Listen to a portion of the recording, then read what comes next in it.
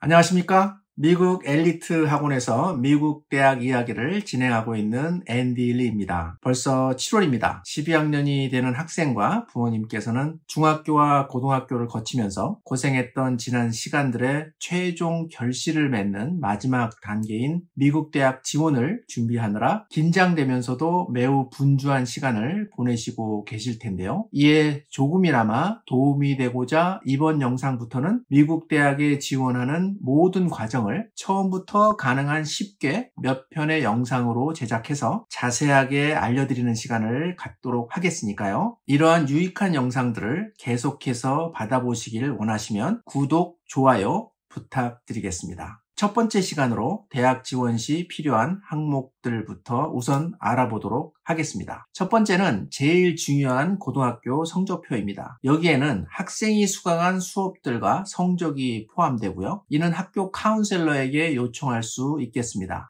혹시 학생의 GPA를 향상시키기 위해 추가적으로 다른 고등학교에서 AP나 컬리지 코스를 수강한 학생과 같이 한 개 이상의 고등학교 성적표를 갖고 있는 학생들은 총 두 개의 고등학교 성적표를 갖고 있어야 하겠습니다. 여기서 한 개 이상의 고등학교 성적표를 학생이 가질 수 있다는 뜻이 무엇인지 궁금하신 분들은 영상 오른쪽 위를 클릭하셔서 제가 예전에 찍어 놓았던 영상을 참조하시길 바랍니다. 두 번째는 대부분의 대학에서 요구하고 있는 SAT 또는 ACT와 같은 표준시험 점수가 되겠습니다. 일부 대학은 SAT 또는 ACT와 같은 표준시험이 옵셔널 또는 테스트 블라인드가 돼서 이러한 시험 점수를 중요하지 않게 생각하는 학생 혹은 부모님들이 계신 것 같은데요. 만약 우리 학생들이 미국 내 상위 52 이상의 대학에 합격을 목표로 한다면 SAT 또는 ACT 중에 하나는 꼭 시험을 볼 것을 추천드립니다. 왜냐하면 테스트 블라인드인 UC도 대학 지원서에 SAT 혹은 ACT의 점수를 기입하는 공란이 아직도 존재하고 있다는 것을 말씀드립니다. 이는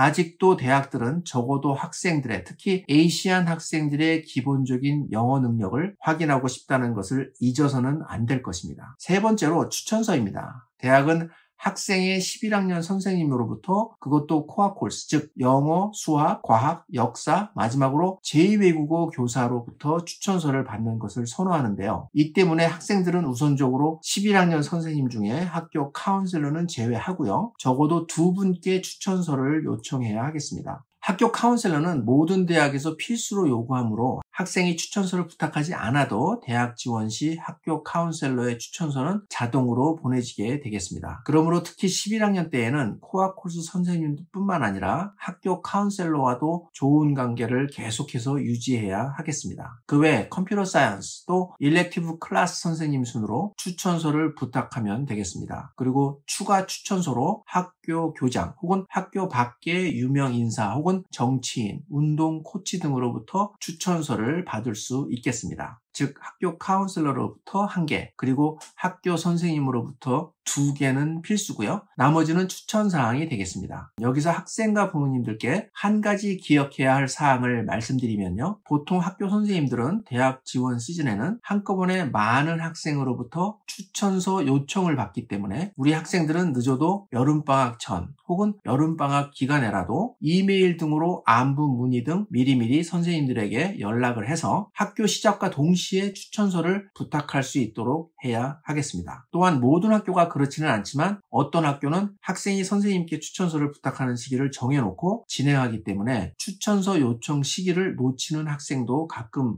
있으니까요. 자기 고등학교가 어떠한 방식으로 추천서를 요청해야 하는지를 미리 확인해 놓는 것도 필요하겠습니다. 네 번째는 대학 지원서입니다. UC와 같이 대학 자체 지원서만을 사용하는 대학이 있는 경우와 또한 현재 대학들이 가장 많이 사용하는 공통 지원서를 사용할 수 있고요. 그 뒤를 이어 많이 사용되는 콜리전 어플리케이션도 사용할 수 있겠습니다. 이렇게 대학마다 사용하는 지원서가 다르기 때문에 학생들이 대학 지원서를 작성하기 전에 자기가 지원하고자 하는 대학이 어떤 지원서를 사용하는지를 먼저 확인하는 절차가 진행되어야 하겠습니다. 다섯 번째는 개인 에세이입니다. 성적과 시험 점수와 함께 나는 누구인가를 대학에 솔직하고 명료하게 설명해 줄수 있는 좋은 기회인 것입니다. 개인 에세이는 우선 모든 학생에게 해당하는 공통 에세이 topic이 있고요. 추가적으로 대학마다 특정 에세이 topic이 있으므로 자신에게 맞는 주제를 어떻게 선택하느냐도 매우 중요하겠습니다. 여섯 번째는 재정 지원이 되겠습니다. 재정 지원 시 모든 대학이 필요로 하는 FAFSA는 물론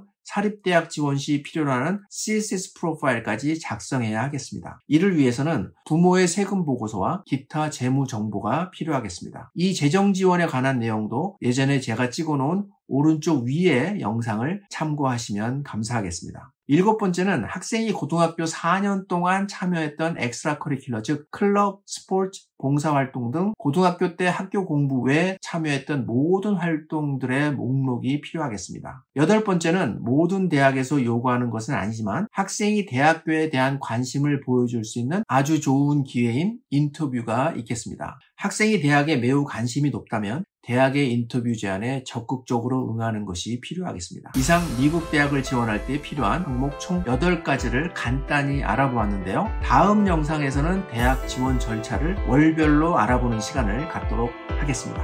감사합니다.